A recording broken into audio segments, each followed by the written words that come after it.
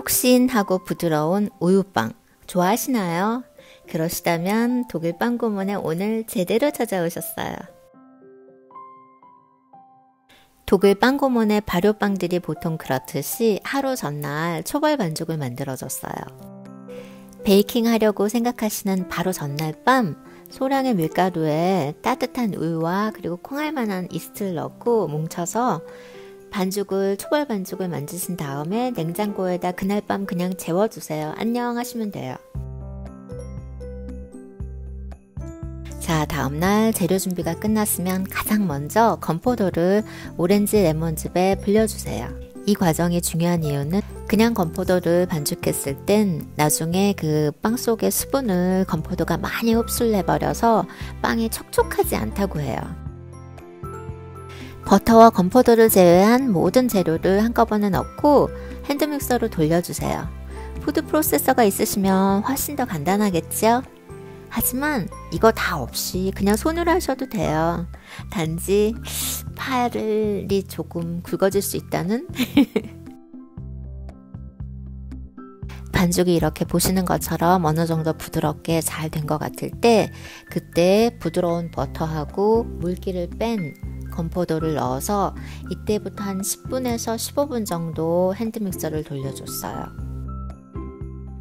이 10분, 15분의 반죽 시간이 사실은 하다 보면 굉장히 길게 느껴지거든요. 그런데 절대 생략할 수 없는 것이 이 과정을 거쳐야만 그 후에 구름같이 가벼운 그리고 솜사탕같이 폭신폭신한 그런 식감을 만들 수가 있거든요.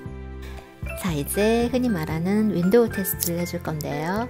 반죽을 조금 떼어서 양손으로 살게 살살 늘려주는데 그때 바로 찢어지지 않고 창호지만큼이나 얄팍하게 늘어나면서 그리고 상 반대편이 비춰질 것처럼 그러면 반죽은 성공이에요.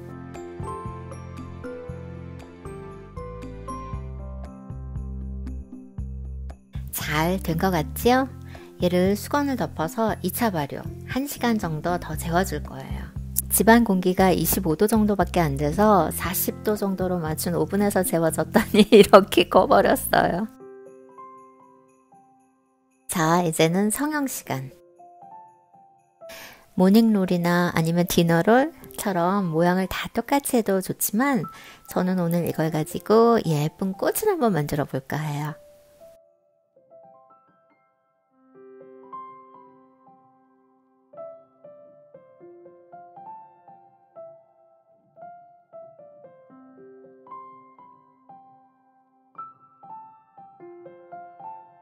가운데 커다란 꽃밥 하나, 그리고 꽃잎이 하나, 둘, 셋, 넷, 다섯, 여섯, 일곱, 여덟. 꽃잎 여덟 개 예쁜 꽃이 하나 완성이고요. 성형이 끝나면 달걀물을 살짝 발라서 한 15분에서 20분 정도 다시 한번 재워주시는데 이때 이미 오븐도 예열 시작해주세요. 시간이 조금 지나니까 꽃잎들이 더 활짝 핀 것 같아요. 그쵸?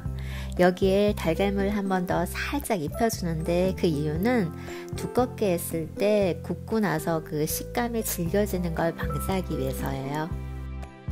한가운데 꽃밥 위에는 아몬드 칩을 소복하게 얹어줬고요. 그리고 꽃잎들 위에는 하글 주거 이걸 뭐라 하지? 음, 조각 설탕 아니 덩어리 설탕. 음, 덩어리 설탕을 소복하게 또 얹어줬어요. 하얗게 예쁘죠?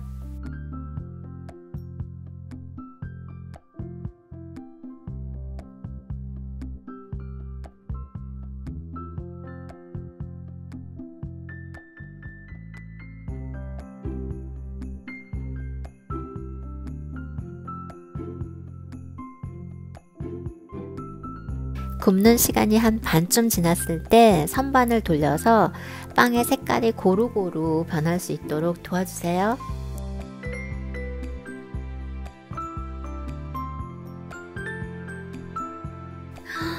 이제 다 됐어요. 다 됐어.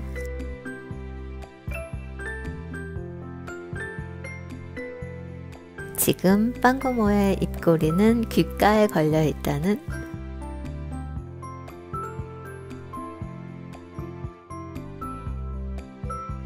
어떤 맛이냐고요? 맘 같아선 여러분 모두하고 같이 나누고 싶은 그런 맛이에요.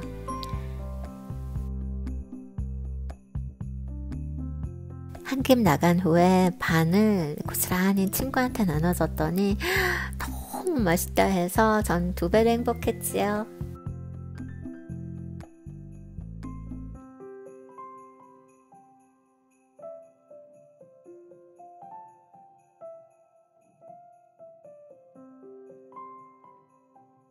모양 일정한 모닝롤보다 이렇게 예쁜 꽃 모양을 하니까 어, 브런치나 가족 모임에 시선 집중 메뉴로 진짜 근사할 것 같아.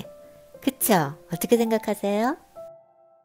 사실은 그날 다 먹고 두 개만 남겨서 냉동실에 넣어뒀다가 이틀 지난 후에 아침 식사를 꺼냈어요.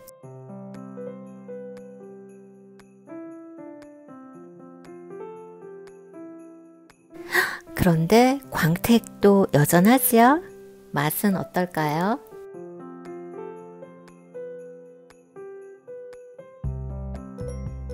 음.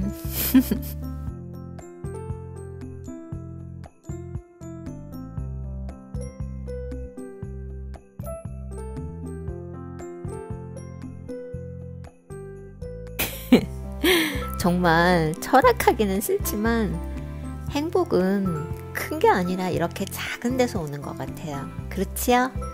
여러분도 행복한 하루 보내세요. 안녕. 참, 구독 잊지 마시고요. 알람도 잊지 마시고요. 안녕.